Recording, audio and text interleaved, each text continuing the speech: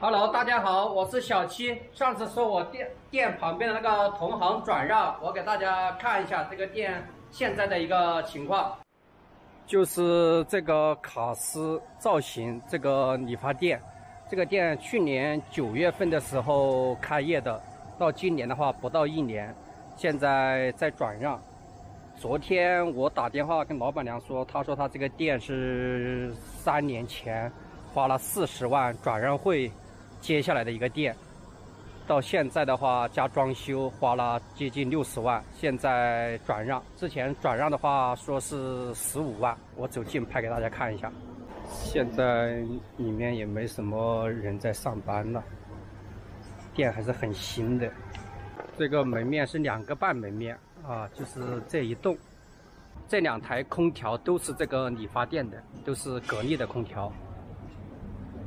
然后的话，这边的话就是出租房的一个楼梯间。这边过来的话，就这里一个楼梯间挡住了，大概只有七米的样子。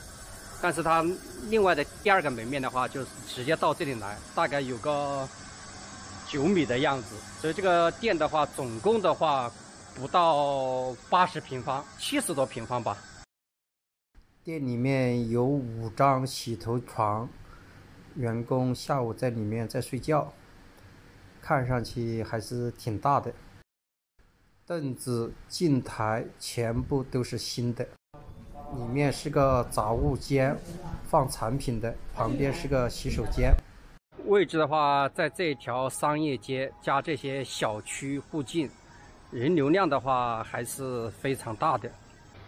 这条街到晚上的话，人流量是非常大，就是我身后的这个。卡斯理发店，这两天应该会有人来接手吧。白天的话，我们这一条商业街的话，人流量就比较小，因为附近很多工业区的加关内的人都在上班，没有回来。到晚上的话，七点之后，关内上班的来到这个城中村以及附近工业区下班的人，下班了来这条街逛，就人气就非常旺。刚开始转让的时候。十五万，前几天的时候，这个老板娘给我打电话说，如果你要的话是十三万。到前天，就是昨天，我跟他打电话的时候，我说这个店九万块钱，你转不转？转的话，我想把它接下来啊，因为找几个股东一起合作，帮他拿下来。昨天的话，他说九万块钱可能会有点低，他说最低十万块钱，不包六千块的押金，也就是十万零六千，啊，他就可以转掉。当时跟老板娘聊天聊了几分钟之后，我感觉得到她心中太多的无奈以及太多的心酸。低价从十五万变成十万块钱，低价转真的是含着泪在转让。当初是四十万投资下来的一个店，现在加装修接近六十万，现在要把它盘出去，至少都是亏了四十万以上。因为他现在面临最大的一个问题就是。店铺现在是没心经营，因为他在东莞上班。东莞的话，他没有过来打理，他只是投资了，让他弟弟过来看这个店。他弟弟每天就喜欢打游戏，晚上的话就玩得很晚，白天的话到下午两三点钟开门，有时候不开门，导致现在这个店铺就是无心经营。啊，从十五万的转让会坚持了没有一个月，现在跌到十万块钱，直接就转。所以说，我觉得他。是一个非常着急的，不知亏钱。我觉得六千块钱一个月的房租，还有四年合同，啊，每年涨三百。我觉得只要用心做，怎么都不会亏，保本是没有问题的。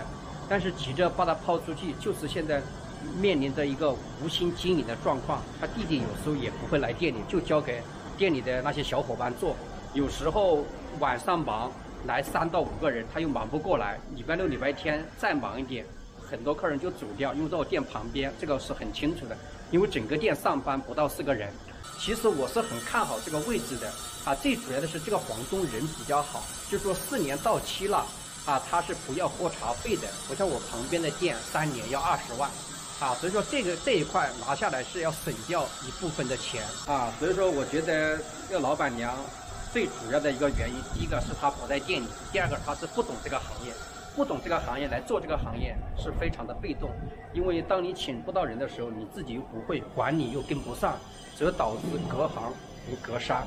最主要的，我最看重的就是在他这个门面的房租，第一个便宜，六千三百块钱。三年前，那个时候人流量真的很大。三年前我们这条街随便一个铺面的转让费二十万、三十万、四十万，真的是非常正常的一个价格。但是今年店铺想转让出一个高价格是比较难的，所以说老板娘没办法从十五万直接降到十三万、十万，啊，直接转掉。光他这两个中央空调投资都是两万多，啊，好了，今天我的视频分享到这里，希望大家给我点个赞。